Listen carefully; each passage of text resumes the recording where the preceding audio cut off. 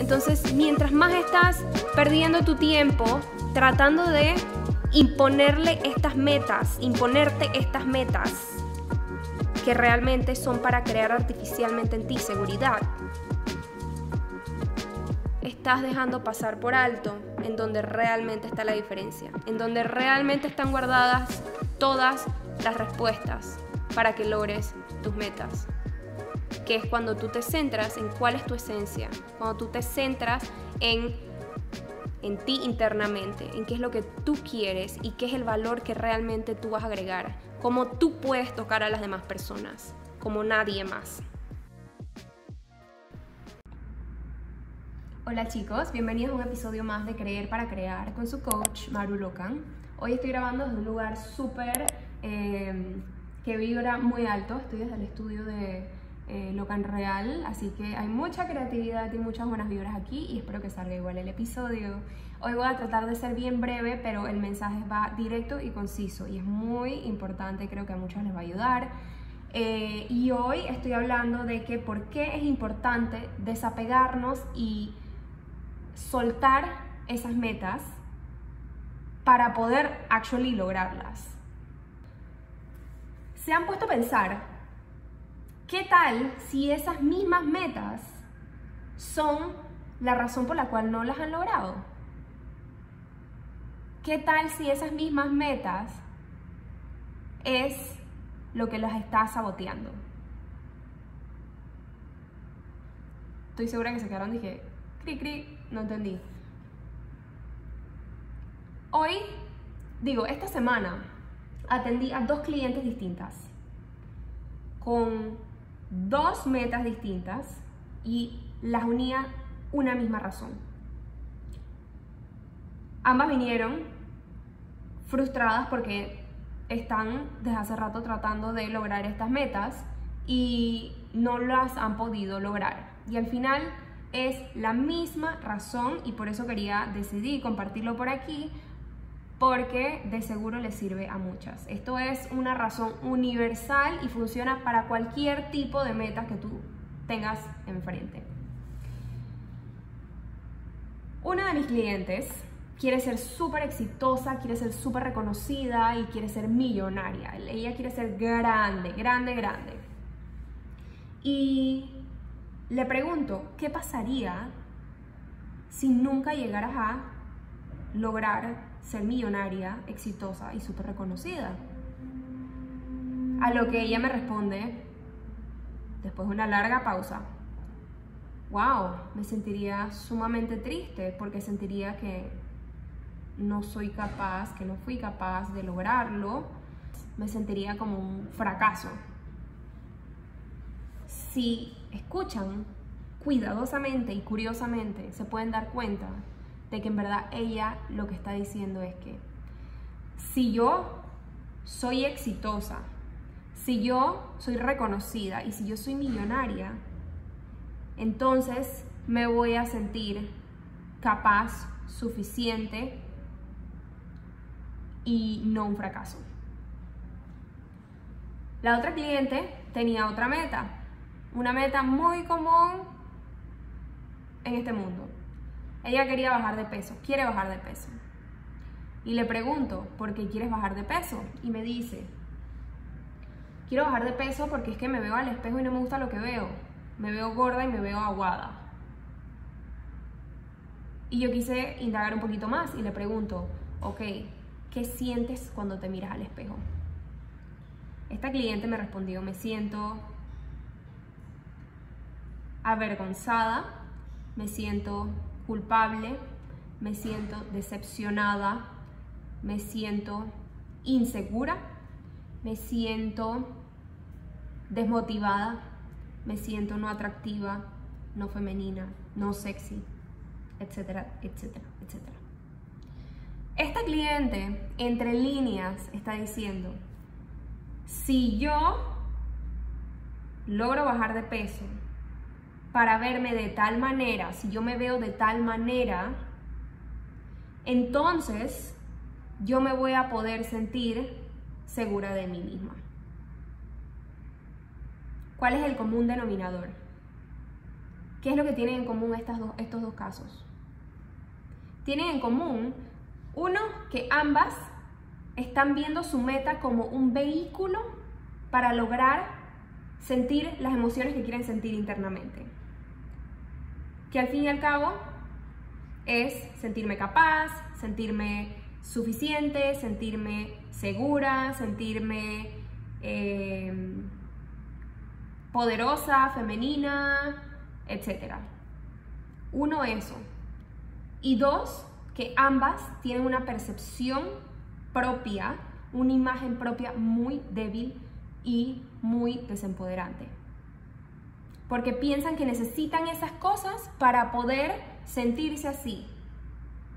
Es decir, que no creen que lo son, no se sienten así porque sí, sino que dependen de esas cosas, dependen de esas metas para poder no ser un fracaso. Dependen de esas metas para sentir su valor. Entonces se preguntarán, ¿qué es lo malo de depender de esas cositas para poder sentirme segura de mí misma? Lo van a entender. Lo malo, cuando voy a hablar, voy a hablar de identidad. La identidad, con identidad me refiero a la imagen propia que tenemos de nosotras mismas. Esta identidad es importante porque aquí es donde se traban, aquí es donde están bloqueadas. Esa identidad es precisamente lo que las está saboteando y es precisamente la razón por la cual no han podido bajar de peso, por la cual no han podido lograr éxito como quieren, por la cual no han podido lograr el reconocimiento que quieren. ¿Por qué? Porque la identidad funciona como un termostato. ¿Cómo funciona un termostato? El termostato está seteado a cierta temperatura, ¿verdad?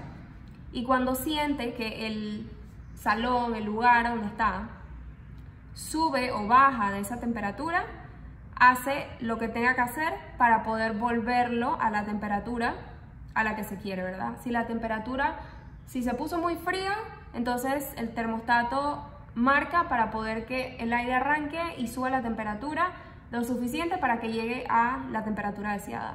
Si se puso muy caliente, entonces el termostato lo marca y se prende el aire acondicionado para que se vuelva a enfriar el cuarto a la temperatura deseada. Entonces, el termostato es como lo que manda, es como que la meta, es como la meta. Entonces, ¿qué pasa? Si nosotras por dentro creemos que no somos suficientes, si nosotros por dentro creemos que estamos quebradas y somos defectuosas de alguna manera, que no somos merecedoras, que no tenemos mucho valor, que no somos suficientemente interesantes, en el momento en que intentemos, nos pongamos algún tipo de meta que desafíe esa identidad, que no la acompañe, que nos saque de nuestra zona de confort, el termostato, adivinen qué va, a hacer. Va a salir, actuar y a regularnos y a traernos de nuevo a nuestro nivel. Ejemplo, digamos esta cliente que tengo, ¿no? Ella está tratando de construir su negocio exitoso y eh, ha tenido muchas ideas y estrategias de cómo, eh, cómo eh, llevar su, su negocio al siguiente nivel le ha ido muy bien por el momento, sin embargo ella está lista para más. Y en este momento, no importa lo que haga, está bloqueada, está que no echa para adelante, porque ella misma no se percibe como una persona suficientemente conocedora y siente que no, que tiene que capacitarse y armarse de más cosas, se siente insegura de su conocimiento para poder que la gente confíe en ella y expandir hacia el siguiente nivel. Es decir, ella tiene la imagen propia de que ella no sabe lo suficiente como para poder lograr la meta que quiere. Entonces, ¿qué hace la mente? La mente dice, ok, espérate, Tú te estás poniendo esta meta muy grande, esto se sale de nuestras ligas, esto no pertenecemos acá arriba, eh, olvídate, vamos para abajo de nuevo. Y poco tú, vamos para abajo. Entonces, ¿de qué manera vamos para abajo? Ahí es el, cuando aparece el famoso autosabotaje. Nos saboteamos de cualquier manera. Puede ser un sabotaje como comparación con los demás, o sea, nos las pasamos comparándonos y es tan fácil caer en eso ahora con las redes sociales. Nos las pasamos comparándonos con qué está haciendo la competencia, con a quién le va mejor, cuántos seguidores tiene la competencia, em, ¿sabes? A, quién le comentan más, a quién le compraron el producto. Y estamos gastando energía en eso en lugar de enfocarnos en qué es lo que nosotras hacemos mejor, que más nadie puede hacer, porque cada quien tiene su magia, ¿no? Otro ejemplo de autosabotaje.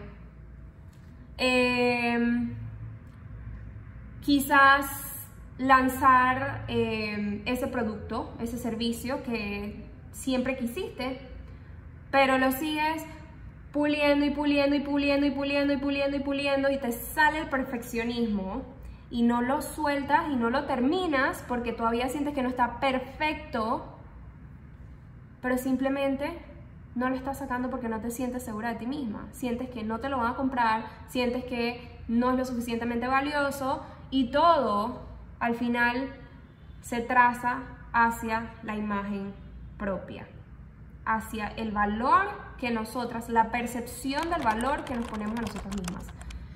Entonces, por eso es muy importante la autoimagen o la identidad. Y entonces ocurre algo muy interesante, imagínense. Nuestros resultados dependen de nuestra identidad o de nuestro valor.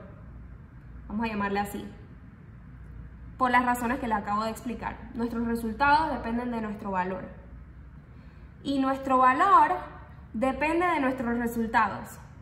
Y nuestros resultados dependen de nuestro valor. Y nuestro valor depende de los resultados. De esa manera es que estamos bloqueadas. La parte de que nuestros resultados dependen de nuestro valor, eso es legítimo y eso es así por lo que lo acabo de, explicar como el termostato. Si nuestras metas no son acompañadas de una imagen propia, robusta, fuerte, positiva sobre nosotras mismas, el termostato va a venir a regular y a bajarnos de nuestra nube. Eso es legítimo y la parte de que nuestro, valor depende de nuestros resultados, esa es la película que nos creamos en nuestra cabeza.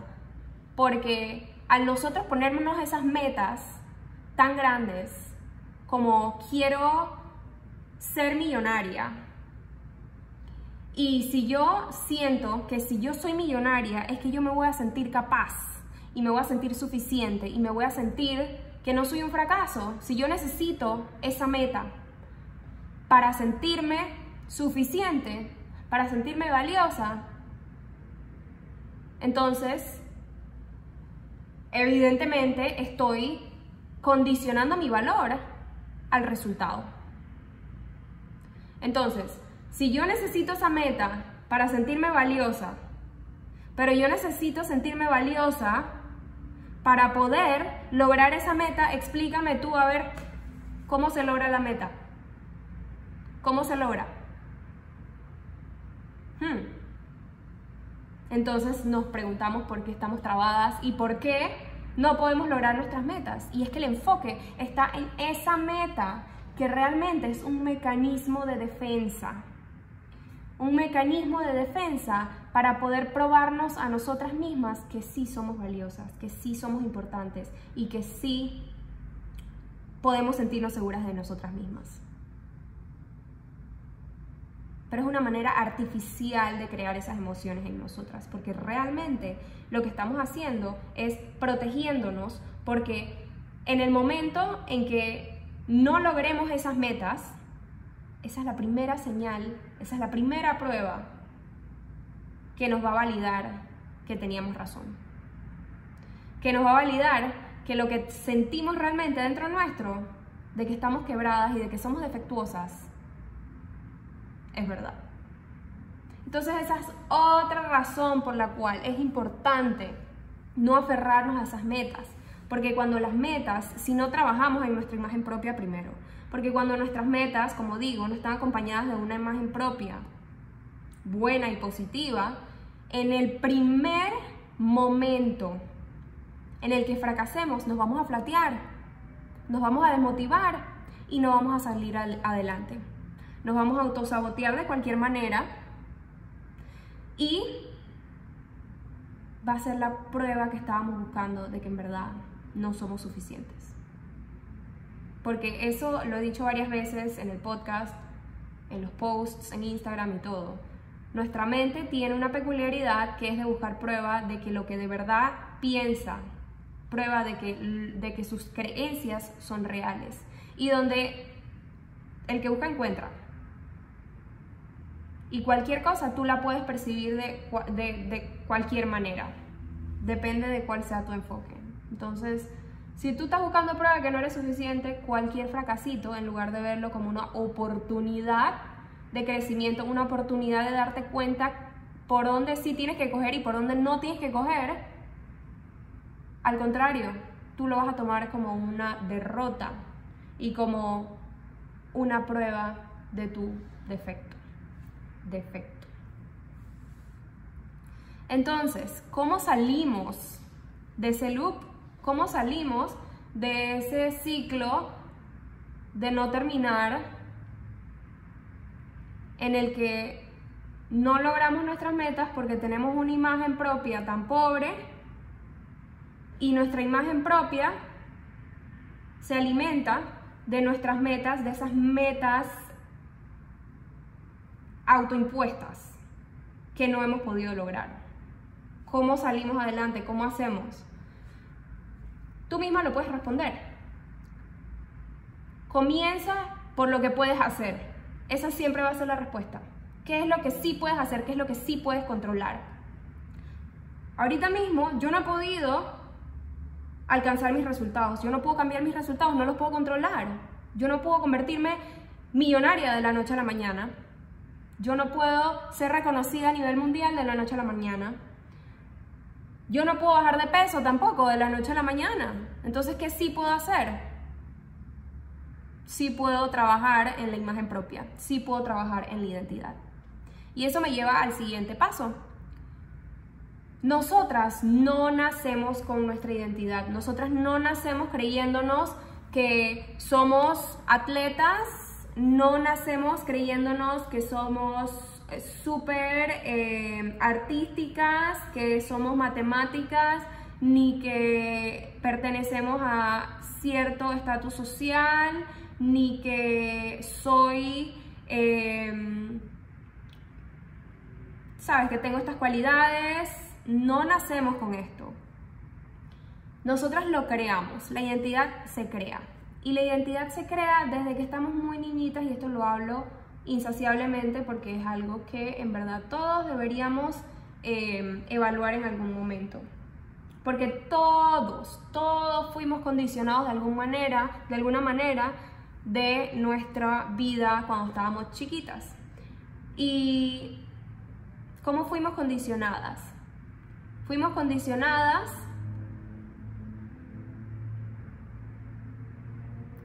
porque generamos una imagen propia basada en cómo percibimos que ocurrían las cosas alrededor de nosotras, en base a la causa y el efecto percibido por nosotras.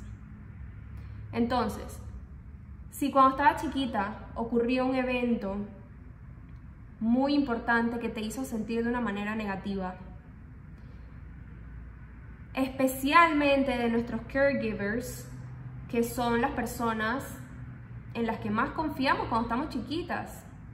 Es que si no confiamos en ellas, ¿en quién vamos a confiar? Dependemos de ellas. Es un mecanismo de survival. Entonces, ¿qué pasa? Cuando estamos chiquitas no tenemos la madurez emocional suficiente como para entender qué fue nuestro, nuestra culpa y qué no fue nuestra culpa. Entonces, la causa, cuando estamos interpretando causa y efecto alrededor de nosotras, la causa la buscamos en nosotras. ¿Qué hice yo que ocurrió esto? Y allí se empieza a formar esa imagen propia de nosotras. ¿Y cómo se refuerza esa imagen? Es por repetición. Como les digo, la mente va buscando prueba de lo que interpretó. Encuentra la prueba, refuerza la creencia. Encuentra la prueba, refuerza la creencia. Encuentra la prueba, refuerza la creencia. Entonces, si yo en algún momento interpreté de que mis papás se divorciaron por mi culpa, porque yo no fui lo suficientemente importante como para que ellos se quedaran juntos, entonces voy a ir en el mundo buscando prueba de que lo que yo pienso y lo que yo interpreté fue verdad. Y al primer fracaso, al primer desacuerdo conmigo, al primer inclusive bullying, porque esas cosas pasan, no todos somos iguales, entonces yo lo voy a tomar como la prueba que estaba buscando para creer, para reforzar la creencia y esa imagen, esa identidad que tengo sobre mí. Entre más se refuerza, entre más repetimos, más nos identificamos con ella y más se crea la identidad. Entonces, como les digo, la identidad es como el compás, compás y termostato, porque empezamos a vivir nuestra vida en base a esa fundación. Entonces, con lo que les quiero decir con esto es que esa identidad también es moldeable y también se puede cambiar, también se puede cambiar. Y es en eso en donde tenemos que trabajar. Entonces, volviendo al tema del mecanismo de defensa. Naturalmente, la mente busca cómo defenderse, porque si yo pienso que yo estoy quebrada, si yo, si yo siento que tengo un defecto, la mente por evolución busca maneras de protegerme, porque es supervivencia, maneras de mantenerme a salvo. Cualquier manera, no importa cómo, pero yo la voy a buscar. Y entonces empezamos a vivir nuestra vida adoptando comportamientos, adoptando cosas que nos hagan sentir lo contrario a lo que percibimos en ese momento. Si percibimos que no fuimos lo suficientemente importantes, entonces vamos a buscar cosas que nos hagan sentir importantes. Un ejemplo, y, existen muchas maneras, pero voy a enfocarme ahorita mismo en una sola, que es muy común, el control. Varios mecanismos, mecanismos de defensa se basan en control. Controlando, y el control se manifiesta de distintas maneras, controlando cómo me veo, controlando los resultados, el perfeccionismo y también el overachievement es otra forma de control, porque si yo me forro de todos estos logros y yo me forro también de esta apariencia, entonces por lo menos me voy a sentir segura de mí misma pero no me voy a sentir segura de mí misma por mí, porque yo en verdad siento que yo soy suficiente y porque en verdad yo siento que yo soy valiosa, sino que me voy a sentir segura de mí misma porque los demás me van a validar. O sea que es condicionada y es dependiente al exterior. Y es condicionada y dependiente a esas metas autoimpuestas de vernos de tal manera, por eso tengo que pesar tantas libras, de ser millonaria y por eso tengo que hacer tanto al mes. Y si no tenemos esa validación externa o material, entonces volvemos al mismo sentimiento de que no somos suficientes. Y como ven, esos son remedios temporales, artificiales, porque realmente adentro de nosotras sigue la creencia de que estamos quebradas. Estamos inseguras de nosotras mismas. E inclusive es muy cómico e irónico que mucha gente que tú conoces por ahí y que ves esto en las redes sociales inclusive, que se ven súper extrovertidas y hablantinas y sexys y desinhibidas y hablan alto y todo esto y se ven súper divertidas, por dentro hay veces, no estoy diciendo que todas las veces, pero por dentro esas personas son personas muy seguras de sí mismas. porque han utilizado ese mecanismo de ser la más escandalosa y la más divertida y la más opinionada para poder realmente eh, tapar su inseguridad por dentro. Entonces, ¿qué hay de malo con ese mecanismo de defensa que hemos adoptado? Que es esa meta realmente. Esa meta fue adoptada como un mecanismo de defensa para poder nosotras ponernos valor propio, para poder sentirnos valiosas suficientes. ¿Qué hay de malo en eso? Que esa misma meta nos está confirmando a nosotras mismas que tenemos razón, que necesitamos de eso para poder ser valiosas. Entonces estás operando desde, desde, un, desde una imagen quebrada tuya. No estás operando desde la abundancia, sino desde la escasez, desde un lugar débil. Y eso mismo es lo que uno manifiesta. Entonces, existen dos personas adentro tuyo tu verdadero yo, tu esencia, tu auténtico yo, y la otra persona es esa persona que creaste para defenderte y para protegerte. Esa persona que utiliza mecanismo 1, mecanismo 2, mecanismo 3, mecanismo 4, mecanismo 5 para poder probarse a sí misma de su valor, para poder sentir las emociones que quiere sentir y para poder avoid el dolor que tiene por dentro. Entonces, lo curioso de esto es que mientras, mientras más estés enfocada en ponerle energía a esa persona, invertir energía en esa persona que creaste, en ese mecanismo de defensa, en esa fachada que creaste para poder protegerte, para poder demostrarte a ti misma de tu valor propio, entre más inviertas energía ahí, menos estás invirtiendo energía en tu esencia, en tu autenticidad y en lo que verdaderamente quiere tu alma. Y lo curioso es que desde allí es de donde, desde donde se crea la magia. Allí es donde reside realmente esa cosa única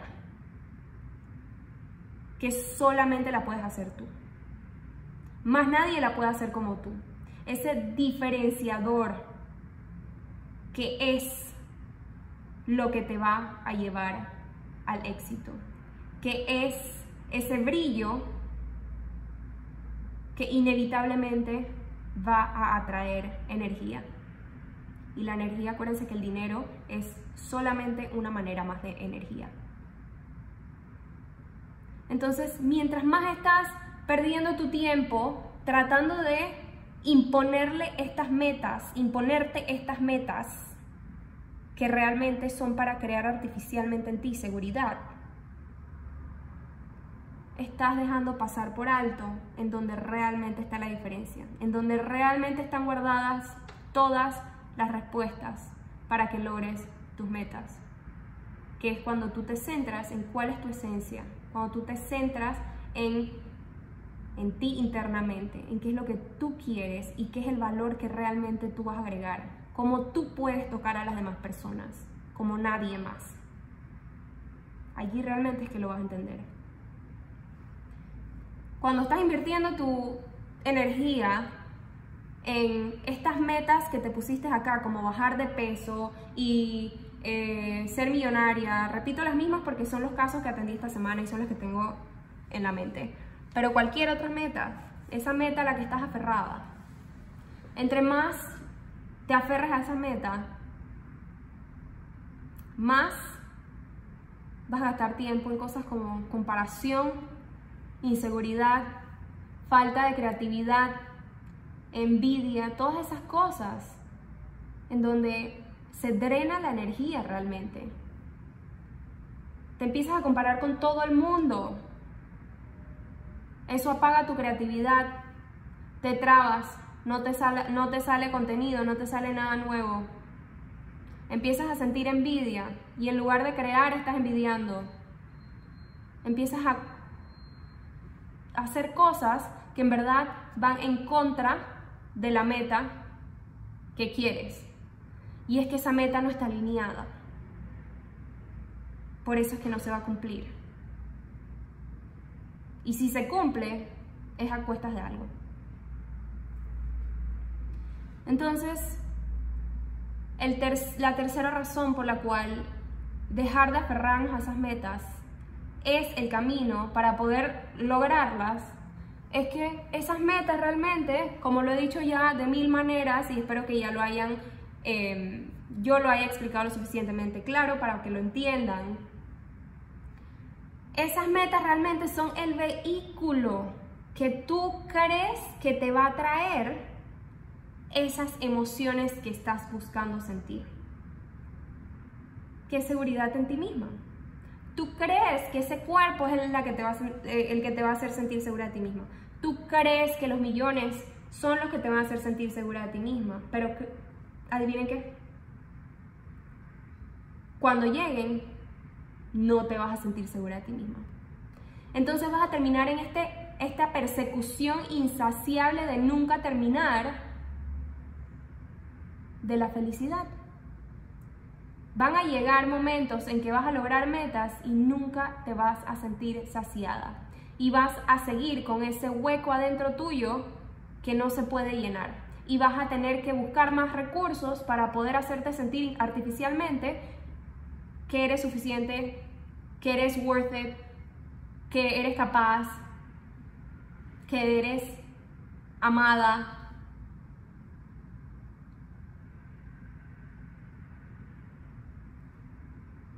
te vuelves adicta a estas cosas. Te vuelves adicta a estas cosas y va a ser un camino de tanta resistencia, porque como digo, cuando la imagen propia no va acompañada de esas metas, el termostato te va a llevar de vuelta a tu nivel, a donde perteneces. Va a haber muchísima resistencia no va a fluir. Y yo creo que eso es lo que todos queremos en esta vida, ¿no? Fluir. Fluir y que todo fluya hacia nosotros, todo lo positivo, todo lo que queremos magnéticamente y que nosotros estemos alineados y ser felices y que no estar preocupándonos eh, por, porque hay que pagar la renta, porque hay que eh, demostrarle a los demás por mil cosas. Queremos nada más ser, queremos ser felices y que nadie nos joda.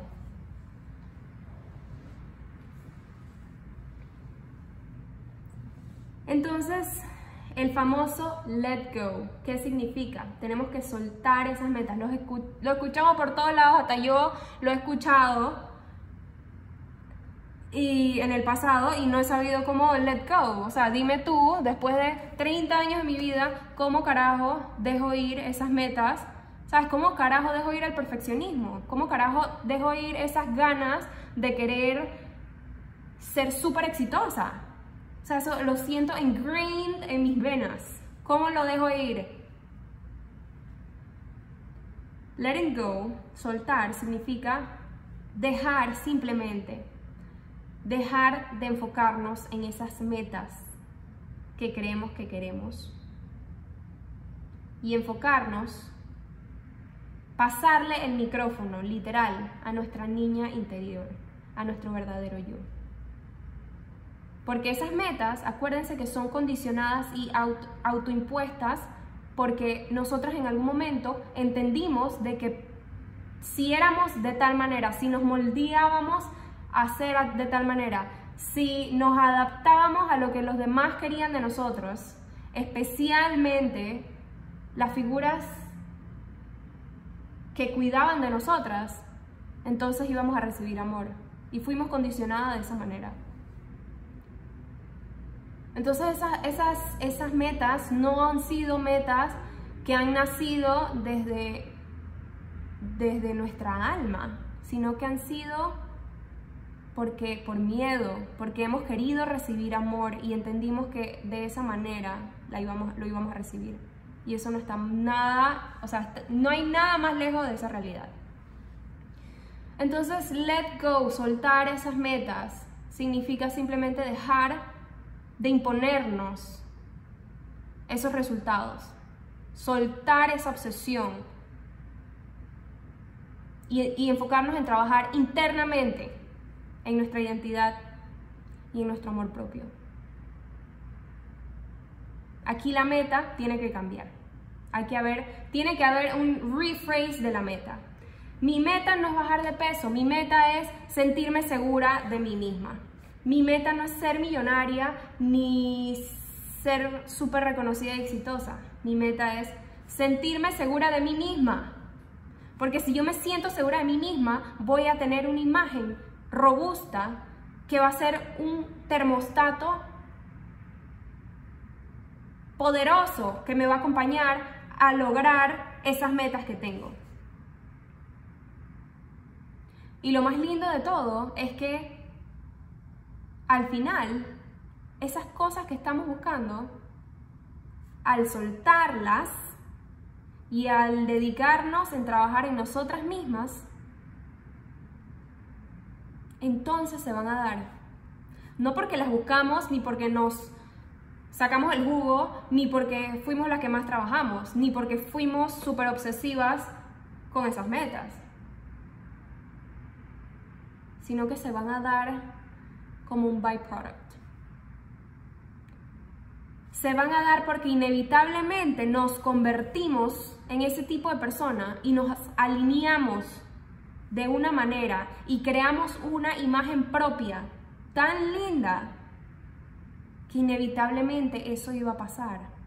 Esas cosas que al final representan energía en el mundo, como el éxito, el reconocimiento, el dinero, la admiración, el amor, todo eso es energía positiva. Y esas cosas van a fluir hacia nosotras inevitablemente porque nosotras adentro nuestro estamos alineadas. Entonces espero que les haya convencido de que la meta es precisamente lo que las está saboteando. Porque no se comienza por ahí. Se comienza por dentro.